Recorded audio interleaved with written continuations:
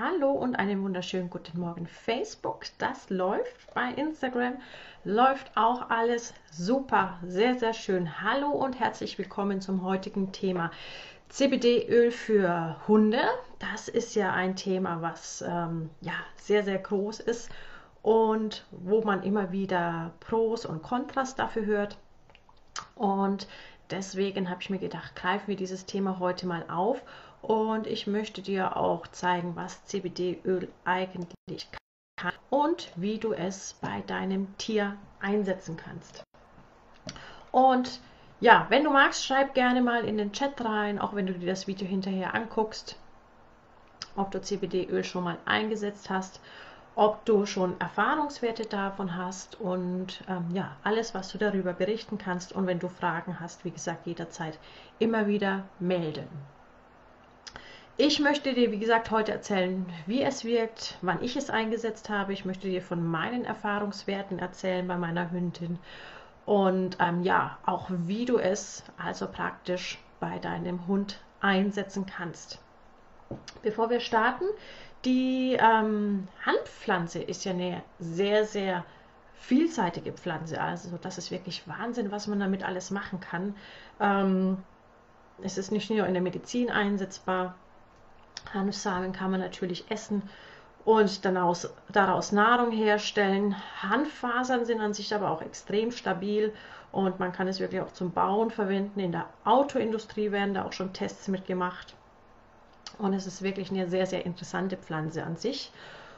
Und ähm, ja, man hat aber teilweise immer so ein bisschen die Angst, ob da irgendwelche Nebenwirkungen auftreten, ja, weil es gehört ja eigentlich ähm, man kennt Hanf eben eher nur aus dem Bereich THC mit der psychoaktiven Wirkung. Und da kann ich dich aber schon mal beruhigen, das macht ähm, das CBD-Öl definitiv nicht. Ja? Das Cannabidiol ist ein Cannabinoid aus der Cannabispflanze, also aus der Hanfpflanze und es hat sehr, sehr viele ähm, Wirkungen bzw. Effekte, sagen wir es mal so. Man muss ja immer so ein bisschen aufpassen, was man sagt, wenn es um CBD-Öl geht. Ich muss mich da heute vielleicht auch so ein bisschen querbeet ähm, sprechen. Wir gucken mal, aber das kriegen wir schon hin.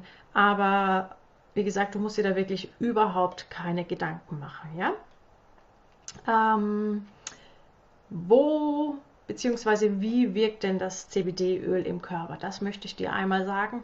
Ähm, Cannabinoide docken an den CB1 und CB2 Rezeptoren an. Jetzt fragst du dich vielleicht, wo sind diese Rezeptoren? Das möchte ich dir einmal kurz erzählen. Die CB1 Rezeptoren findet man im zentralen Nervensystem. Ja, da haben die CB1 Rezeptoren die Aufgabe, die ähm, Über- oder Unteraktivität von Neurotransmittern von den Botenstoffen zu regulieren bzw. auszubalancieren. Und diese Bodenstoffe sind zum Beispiel ähm, Serotonin, Dopamin, Glutamat und auch Noradrenalin. Ja? Und ähm, hauptsächlich, hauptsächlich, finden wir diese CB1-Rezeptoren am Kleinhirn, am Hippocampus und auch an den Basalganglien, aber auch im peripheren Nervensystem, also in den Nervensystemen, wo unter anderem der Darm auch dazu gehört. Auch da kann man diese CB1-Rezeptoren nachweisen. Wie gesagt, die Forschung steckt da auch noch in den Kinderschuhen. Da muss man sich auch immer noch so ein bisschen gedulden, aber es kommt immer mehr und man hat da immer bessere Ergebnisse. Und die CB2-Rezeptoren, die findest du ähm, oder findet man an den Zellen des Immunsystems. Ja? Also du siehst, dass die, das CBD-Öl doch sehr, sehr vielseitig bzw. vielseitig wirken kann und andocken kann. Wie habe ich CBD-Öl eingesetzt bei meiner Hündin? So, ich muss mich kurz einmal anders setzen. Irgendwie ist das heute alles so ein bisschen unrund, aber jetzt ist es besser. Ähm, CBD-Öl habe ich bei meiner Hündin anfangs eingesetzt, um sie ein bisschen entspannter zu bekommen. Das heißt jetzt nicht, dass ich die Hunde hinlegen und ähm, schlafen, aber sie ist doch immer sehr gestresst in manchen Situationen und auch ängstlich und nervös. Und da habe ich das eingesetzt und habe da wirklich gute Erfahrungen gemacht, weil sie einfach entspannter war, sie war besser ansprechbar, wir konnten besser durch gewisse Situationen hindurch und das hat uns schon mal sehr, sehr stark geholfen. Und dann habe ich das bei ihr auch noch unterstützend natürlich zur, bei einer Entzündung und auch zur Schmerzlinderung eingesetzt. Ja, also da kann ich dir aus meinen Erfahrungswerten sagen, funktioniert das auch sehr, sehr gut.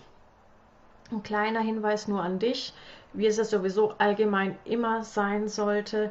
Kein Tier, kein Lebewesen auf der Welt sollte Schmerzen erleiden, sollte eine Erkrankung erleiden. Deswegen, ähm, wenn du das Gefühl hast, du kommst nicht weiter, mach es nicht so, dass du einfach immer höher dosierst oder ja, einfach immer noch mehr in dein Tier reinschüttest, sondern hol dir wirklich fachkundige Beratung. Und wie gesagt, da sich wirklich an den Tierarzt wenden oder auch mal an Tiertherapeuten, je nachdem. Aber wie gesagt, irgendwo, wenn du merkst, es ist eine Grenze da und es funktioniert nicht mehr, möchte ich dich wirklich auch bitten, nochmal den Tierarzt aufzusuchen. Ja, man kann das auch wunderbar alles kombinieren. Da musst du dir keine Gedanken machen, dass dein Tier einfach rundum versorgt ist. Das ist mir wichtig. Ähm, Erfahrungswerte, da weiß ich, dass man es auch bei epileptiformen Anfällen einsetzen kann und auch gegen Übelkeit funktioniert das CBD-Öl sehr, sehr gut. Deswegen, jetzt muss ich nur einmal gucken, ob ich noch da bin. Ähm, irgendwie hat es gerade bei mir extrem geflackert. Doch, alles gut. Und äh, Uschi ist hier. Hallo und einen wunderschönen guten Morgen. Ähm, deswegen hab keine Angst und probier es aus, ja? Uschi, du schreibst, du hast schlechte ähm, Erfahrungen damit gemacht. Ja, das kann auch sein. Wie gesagt, das ist das, was ich sage. Man muss es ausprobieren. Jeder Mensch, jedes Tier, wir reagieren einfach immer ganz unterschiedlich. Und es ist nicht immer für allen Pauschalantwort für alle ähm, Probleme. Ja, deswegen immer ganz individuell ich habe damit, wie gesagt, gute Erfahrungen gemacht, aber es funktioniert nicht bei jedem. Also, wie gesagt, du kannst es ähm, unterstützen bei Schmerzen einsetzen, bei Entzündungen, bei epileptiformen Anfällen und auch bei Übelkeit funktioniert es sehr, sehr gut. So, jetzt fragst du dich vielleicht noch, ähm, wie du es einsetzen sollst. Da habe ich dir auch noch drei Tipps mitgebracht. Ganz, ganz wichtig ist einmal, dass du es in kleinen Mengen einsetzt, ja, und damit startest und nicht gleich eine halbe Flasche, sondern wirklich eins, zwei Tröpfchen am Anfang. Da muss man auch gucken, ob man das einmal täglich braucht oder dreimal täglich. Jedes Individuum, Individuum ist da, reagiert da ganz anders. Starte mal mit einem Tröpfchen und ähm, dann kann man das langsam hochdosieren. Wichtig ist auch, dass du es langsam hochdosierst, ja, in ganz kleinen Schritten.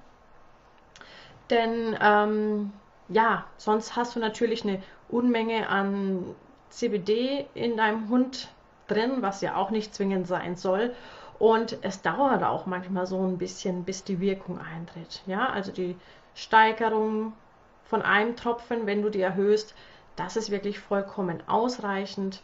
Immer in kleinen Schritten, auch immer ein paar Tage dazwischen warten, weil es eben ähm, seine Zeit braucht. Ja? Es ist kein Mittel, was von einer Sekunde auf die nächste wirkt.